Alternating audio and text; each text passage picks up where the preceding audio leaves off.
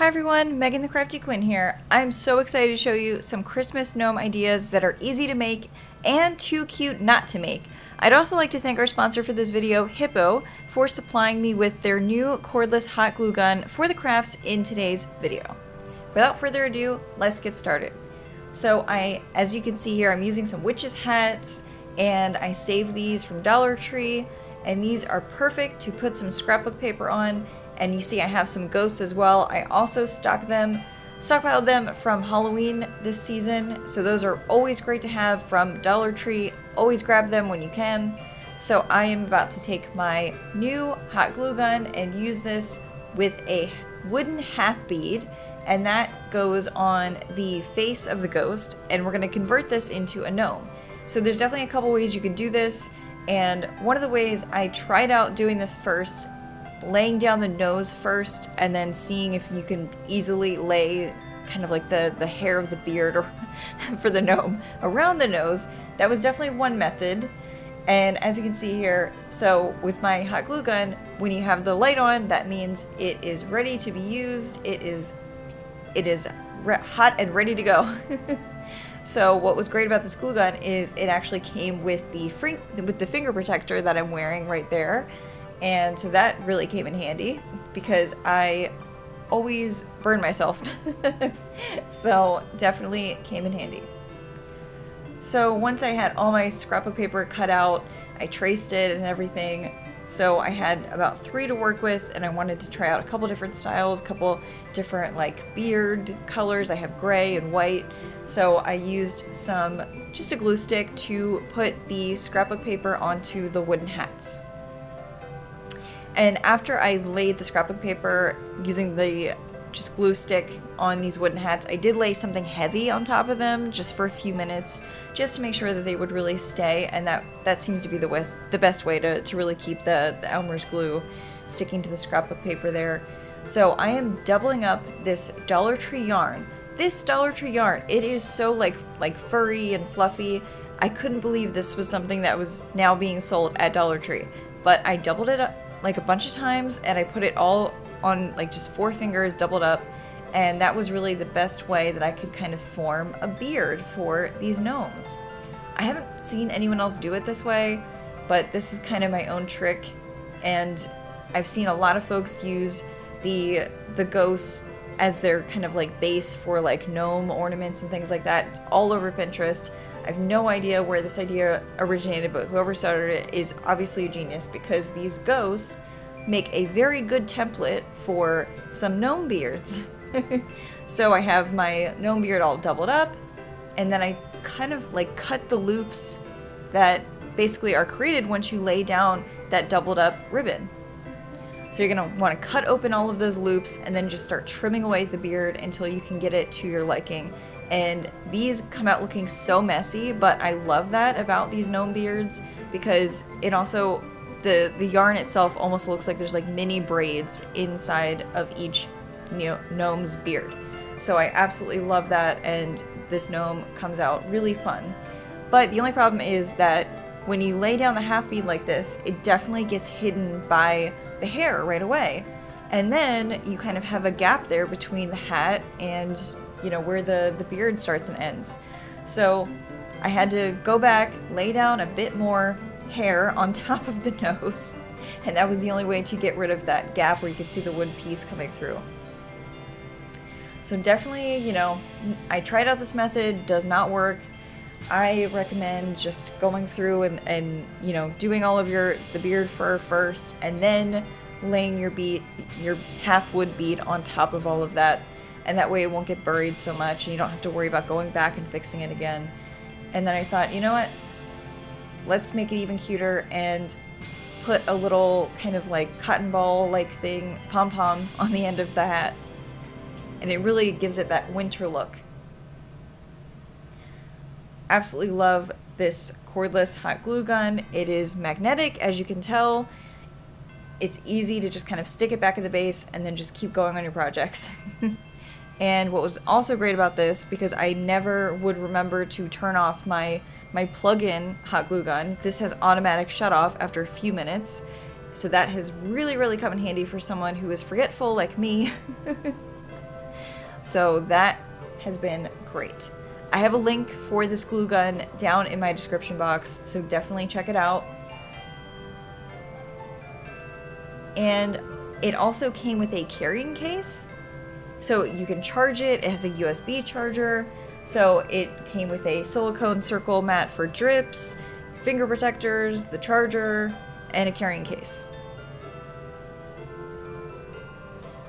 So I'm just adding a little hook here, and we're going to turn these into ornaments.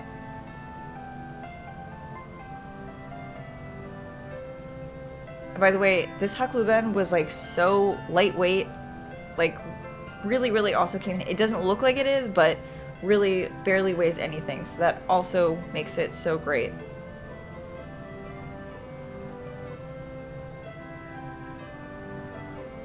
So these are ready. So you can hang these on a full-size tree, but I thought, you know what, how fun to put it on these like miniature flock trees that I got from Target. I get them, you know, I get a couple from Target every year or so. Stockpiling a bunch, but I thought putting them on there would be really, really fun. So that is with the gray beard, and then I wanted to do another gnome, but with the white beard. So this is also this, this like really furry, fluffy yarn from Dollar Tree, and I, of course I had to grab one of each. As soon as I saw the gray and the white, I'm like, oh my gosh, this is gonna be perfect for some gnomes.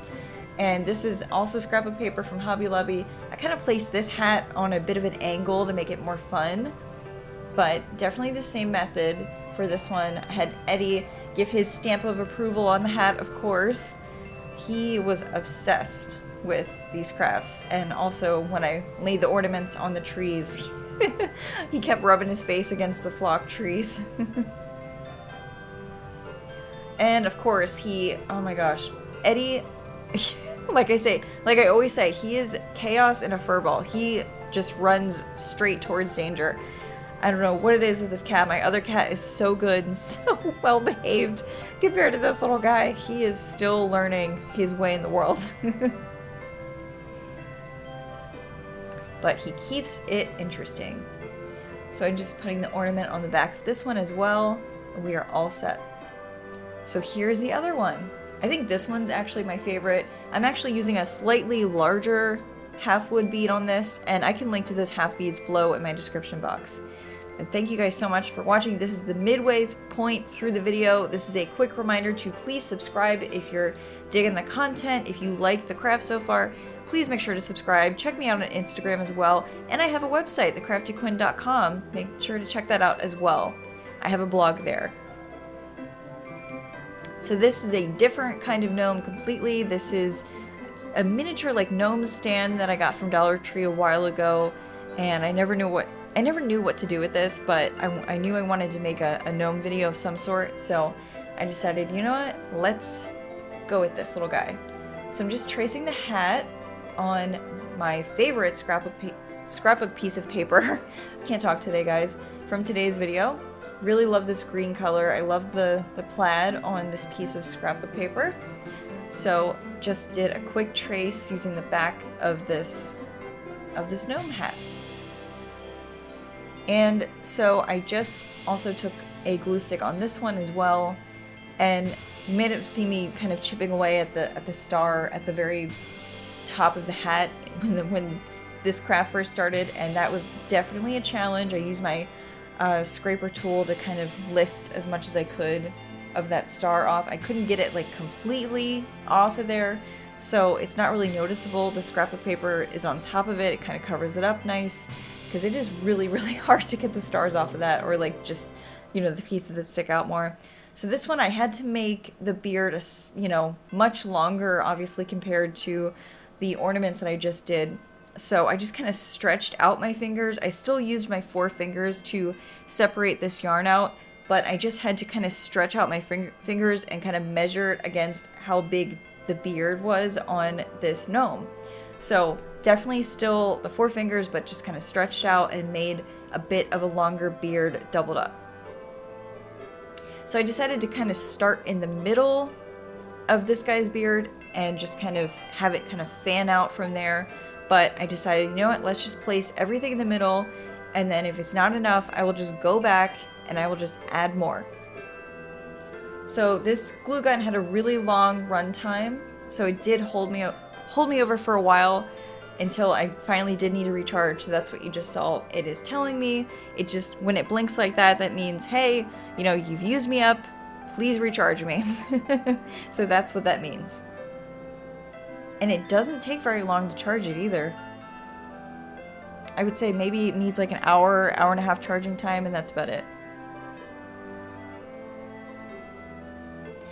So I went back and I added more, I doubled up more yarn, and then I kind of placed it accordingly on either side. And now I'm just trimming this guy's beard because it he needs a shave.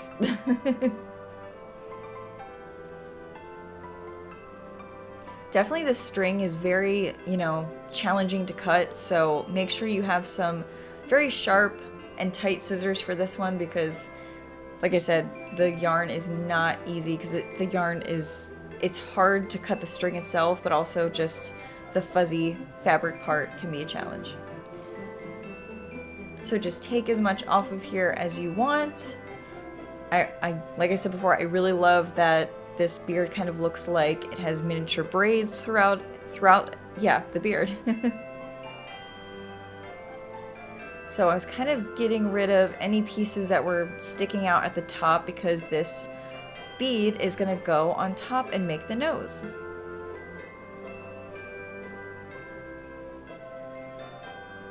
Just kind of laid it flat and make sure that this would stand out It's kind of hard because the, the hat was not in the front, it was behind the beard, just because of the way this gnome was created as a wood piece.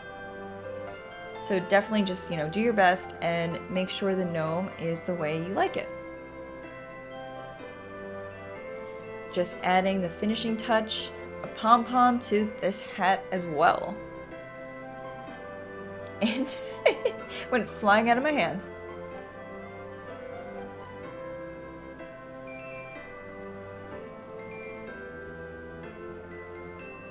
And here is the end result of this little guy.